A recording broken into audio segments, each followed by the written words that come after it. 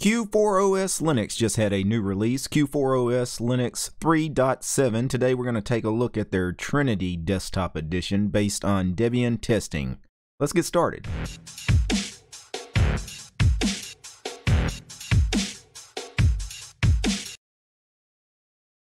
So, what exactly is Q4OS? Those of you that uh, are not aware, Q4OS, reading a little bit from the DistroWatch page for Q4OS, it is a Debian based Linux distribution based out of Germany featuring the Trinity desktop environment. The Trinity desktop environment, by the way, is a fork of the old KDE 3.5 desktop environment from many years past. Uh, KDE 3.5, I mean, dating that thing is uh, that's from like 12, 13 years ago.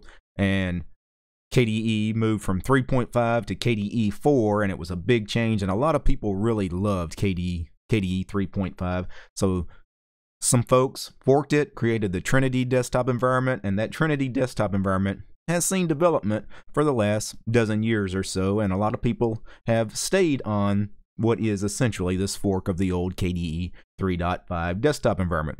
Q4OS is kind of famous for shipping with Trinity by default, but now they offer two different desktop editions. They offer, of course, Trinity, but now they offer a more modern KDE Plasma desktop edition as well. Today I'm going to take a look at the recently released Q4OS 3.7, released about a week ago, uh, based on Debian's testing branch. So I'm going to install this inside a virtual machine. I'm going to install this inside VirtualBox. So I've created a, the VM here and I've booted into the live environment. And you get this nice little welcome screen when you boot into the live environment. Um, of course, we could play around in the live environment, but I want to run through the installation. So I'm going to close all of this and see if I can find the installer for Q4OS. Here's the icon right on the desktop. So that makes it very easy. Alright, and the installer comes up. It looks like they're using the Calamares installer. It says there is not enough drive space. At least 5 gigabytes is required. I created a 15 gig VM. Alright, let me get out of this and see what the problem with this VM is. Okay, so that's really weird. I went back and take, took a look at the settings for this VM. And yes, I did create a 15 gig virtual machine, so should be plenty of space. When I came back to the VM and ran the installer again, it doesn't complain. It doesn't give me an error message. But I didn't do anything. So I don't know. So it's a little bit of a glitch here inside the virtual machine, but uh, I have plenty of space, so the installer should work. Alright, the first thing it's asking is about English being our language. That is correct. Uh, it correctly chose the central time zone in the US for me, so I just need to click continue. English US is the keyboard layout I want. Click next. All right, do we want to erase the disk and let PC, or um, not PC, Linux OS, uh, Q4 OS uh, have the entire hard drive here in the virtual machine, or do we want to partition the drive? Uh, I'm just going to do the erase disk option and let Q4 OS have the entire virtual hard drive here. It is going to create a 8 point gig swap though. Wow. Uh, you know what? Let's do the manual partitioning because I do not want an 8.5 gig swap. Let's do the new partition table. We'll make a MBR. All right, free space. We've got 15 gigs. All right, so let's create an ext4 partition file system on partition type should be primary. We need the mount point.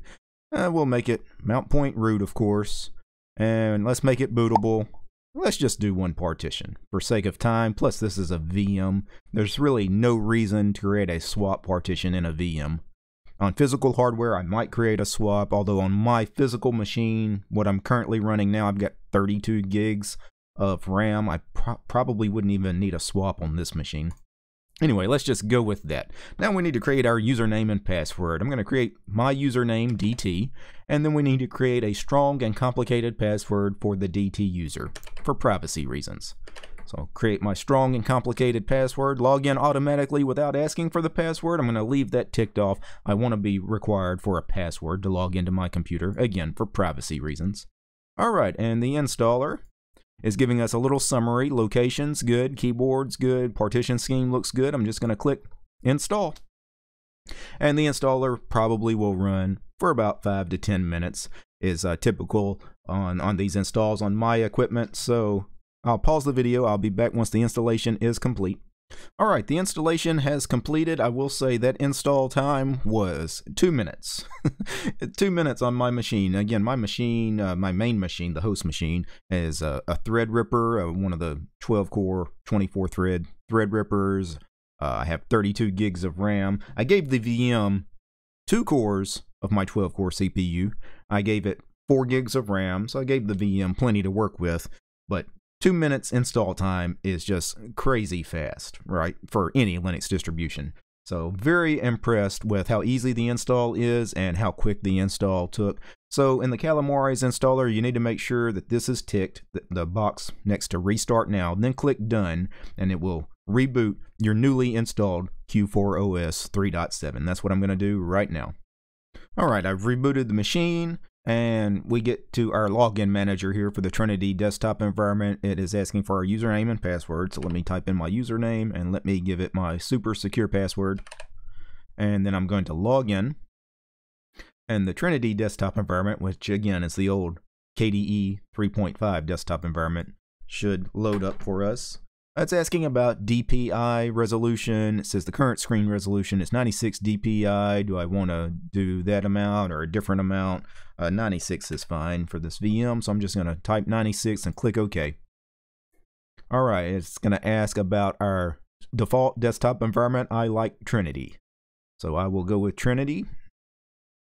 All right, and then it's asking about a software profile. Do we want the full featured desktop with web browser, Office Suite, recommended applications? Do we want the basic Q4 OS with common utilities, system tools, or do we want to keep the Q4 OS operating system or keep installed Q4 OS operating system? You will be free to set up anything by yourself. So that's probably like ultra minimal, not really anything other than the, the desktop environment. I imagine most people that run through an install of any operating system probably want your typical full suite of applications, such as your browser and Office Suite and all of that. So I'm going to run through the full uh, install because I want to see exactly what it, they install, right? Uh, the really minimal install really won't tell us much. So I'm going to let it go ahead and install all the software. I'll pause the video. I'll be back in just a second. Alright, and the installer has finished, so it installed the full desktop with all the, the desktop applications. Now, I will say the initial Calamares installer took exactly two minutes to run through is because it didn't really install a full suite of programs. This installer is more of a net installer, so it's pulling things down from the repositories and installing them. This took a little longer. This took about 12 or 13 minutes to install the full desktop with all the applications, your web browser, your email client, the LibreOffice suite, and all that. I think it also updated the system. I saw it pulled down a new kernel and some other stuff. So this does take a little longer, but again, it's a net install. So it's going to vary depending on how fast your internet speeds are as well. So I'm going to click finish. Congratulations, setup has finished. Click OK. And we may need to reboot. Um, of course, it's going to just launch us directly into the desktop environment. But you know what? I'm going to reboot just to be on the safe side since the, it did install a new kernel. So I rebooted the machine. We get to our login manager. I will notice that the VirtualBox guest additions are working fine. We have a full uh, 1920 by 1080 display resolution here. So that's one of the benefits of going ahead and rebooting after doing that. Uh, if you're doing this in a VM, now you get a proper screen resolution. All right, and we get the welcome screen again. So in the welcome screen, we have six tabs here in the screen. We have Run Desktop Profiler. We have Turn on Desktop Effects. That would be interesting. Uh, let me click that. Do we do we want to turn desktop effects on? This is not something I would normally do. I probably it's probably going to add like some neat transparency and things like that. You know, make the desktop look a little fancier. Uh, me personally, I don't typically turn that stuff on because it really doesn't do much for me. But if you wanted to, you could turn it on. I'm just going to cancel that here in the VM. Plus, I don't want to uh, bog down the VM by turning on a lot of effects. We have install applications. If I click that, that brings up our software center. So we could install things like, I don't know, Google Chrome or Chromium or Firefox. Uh, I'm not exactly sure what web browser it shipped with by default. We'll get into that later. But that is the software center. We could install proprietary codecs. Now, you would need to do this to be able to watch your videos and everything in VLC or whatever uh, video player it happens to ship with by default. So it is definitely important uh, if you're installing this on physical hardware, you need to install the proprietary multimedia codecs. You just have to have them. Uh, switch to kickoff start menu, and that would change the menu down here at the bottom in uh, Trinity, the desktop environment. Set auto login, so this would enable auto login. Uh, I'm not going to turn that on. Matter of fact, I don't want to see this welcome screen anymore, so I will click uh, tick this off, and now close the window. The next time I log into Trinity, that welcome screen will not auto launch. You can still find it. It's still on your system. You can find it in the menu here. If I wanted to, I could probably just search for welcome and I might could find the uh, welcome program. That's not the name of it. How about hello? Sometimes is the name of these kinds of programs. Um, not exactly sure. I, I I'll find it later though. So, first things first, what do I think of Q4OS with the Trinity desktop environment? I think Trinity, even though it is a very old desktop environment, right? Uh, Trinity is basically KDE 3.5, which died, like seriously, it died like 12, 13, 14 years ago. It, it died a long time ago. And, uh, but it still looks good. I think this is the reason a lot of people like Trinity, why Trinity was forked, and continues to see development is because, quite frankly, it looks good. I love the look of the panel. Um, as far as the distribution, Q4S, the Q4OS, the default wallpaper they have, this little abstract art wallpaper, is simple, minimal, looks good. I like the icon set that they did by default. Let's see what applications are installed on the system. So if I go to Programs and go to Accessories, let's see what is installed. Um, edutainment, uh, probably not much is here formula editor. That's a LibreOffice math there. So let's get back out of that. If I click the arrows, we can go back. And this uh, menu system here in Trinity operates a little different than the standard uh, menu system in KDE Plasma. I don't think there's much in the way of games installed. Let's go to the graphics category. Now in graphics, we do have a few things installed. We have digiKam, which is KDE's uh, photo manager. We have the image viewer, which is Gwenview. We have the paint program, uh, Color, Color with a K. We have Kooka. I've never heard of Kooka. But it looks like it's a scanning program. KSnapshot, which is their screen capture utility. LibreOffice Draw is also here.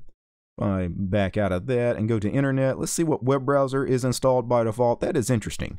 They have Google Chrome installed by default. Google Chrome is not free and open source software, of course. It is proprietary software, but apparently the Q4OS devs don't mind shipping with non-free software out of the box. Most Linux distributions would never ship non-free software on their distribution like this. Uh, usually you wouldn't be able to pull it down from the repository or anything. You have to go find that third-party software yourself.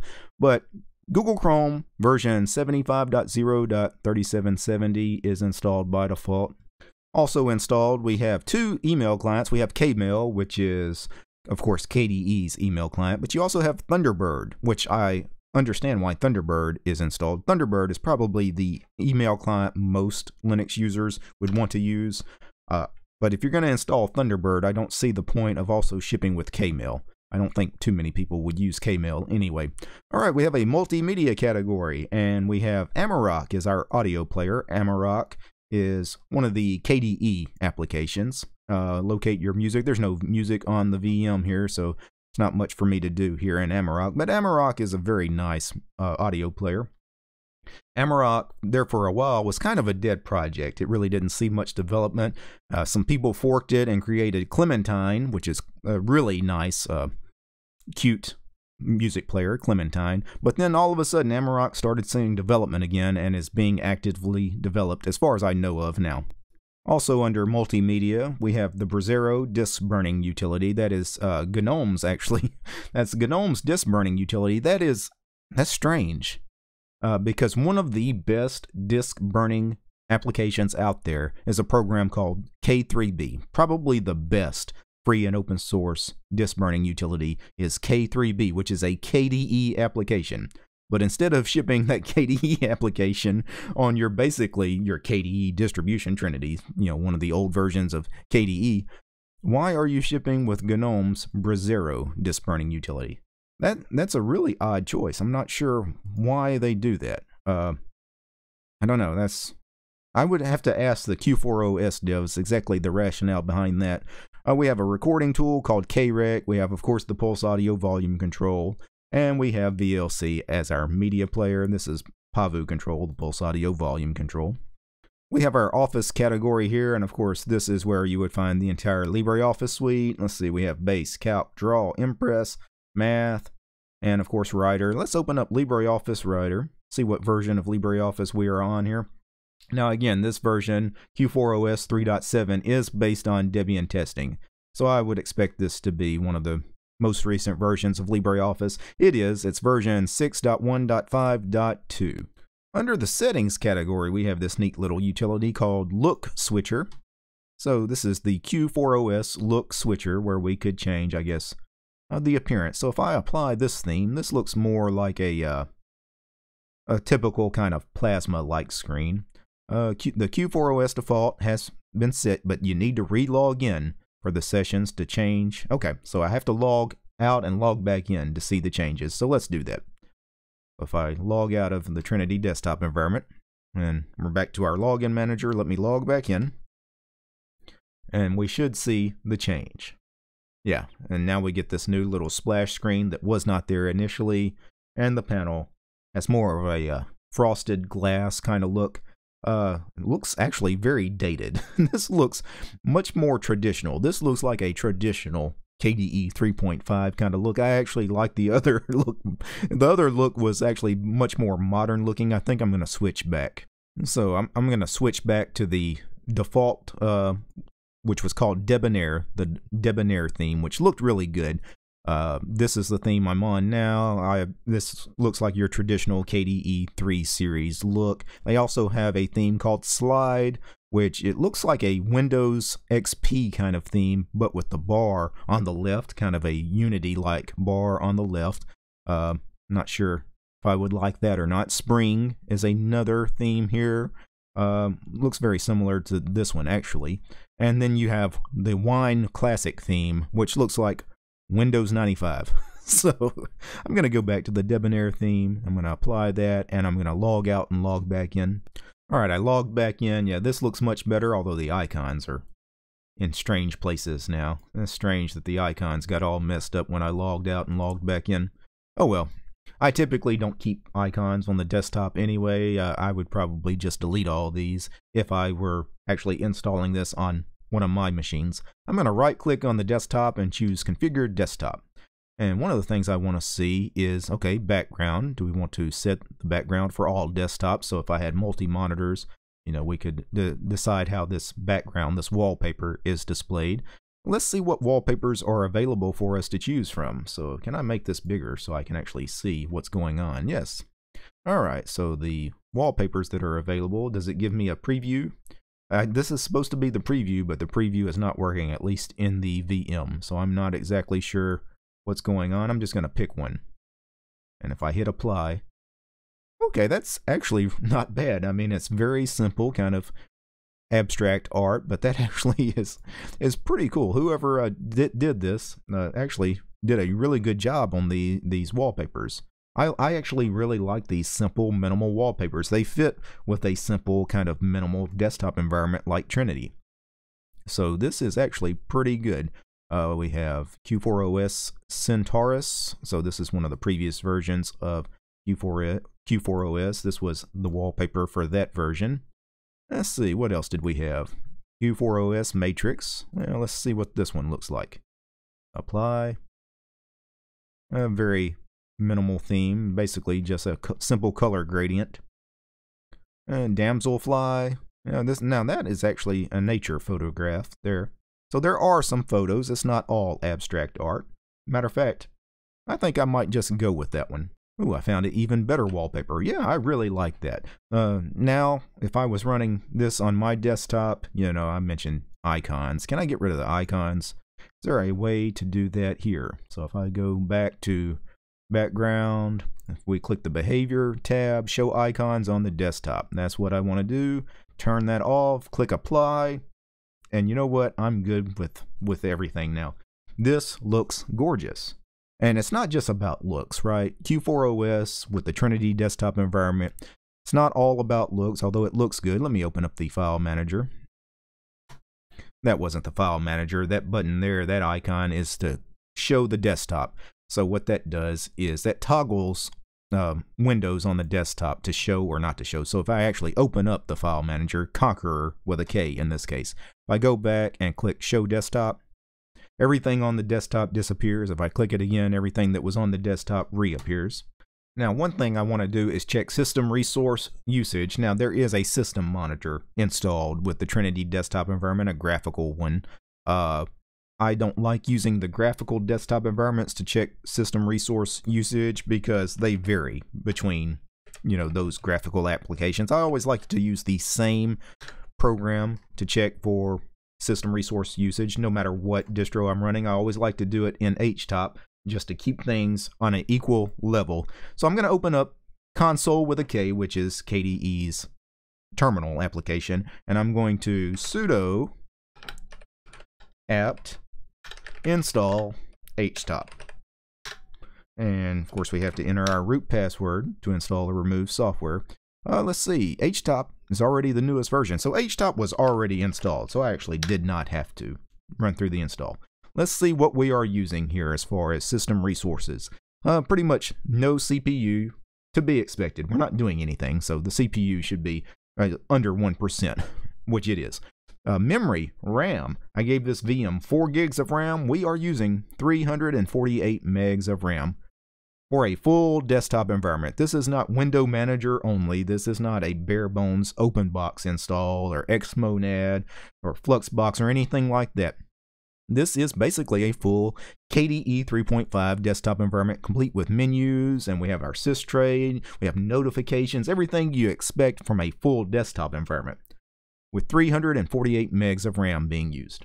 That is incredible. You will not find a full desktop environment that uses so little RAM. Um, that is the beauty of the Trinity desktop environment. It's why Q4OS is actually one of my favorite distributions. I've looked at it on the channel a couple of times in the past, and it's one of those distri- distributions I'm going to keep uh, reviewing on the channel because I really I want more people to know about Q4OS. I think it is a fantastic project, and if I was going to run a Debian based Linux distribution on any of my machines and I was going to run a full desktop environment on any of my machines, I would run Q4OS. That's how good this distribution is. Now, before I go, I need to thank a few people. This show was made possible by Ansem, Chris, the other Chris, Douglas, Dylan, George, Jack, Leor, Mitchell, Philip, Rob, Robert, Sam, Tony, and Willie. They are the producers of the show, my highest tiered patrons over on Patreon.